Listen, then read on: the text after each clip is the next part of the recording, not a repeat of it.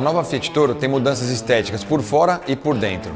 Externamente, as rodas são novidade, os badges, o capô bem mais agressivo, a grade dianteira e até o logotipo mudaram.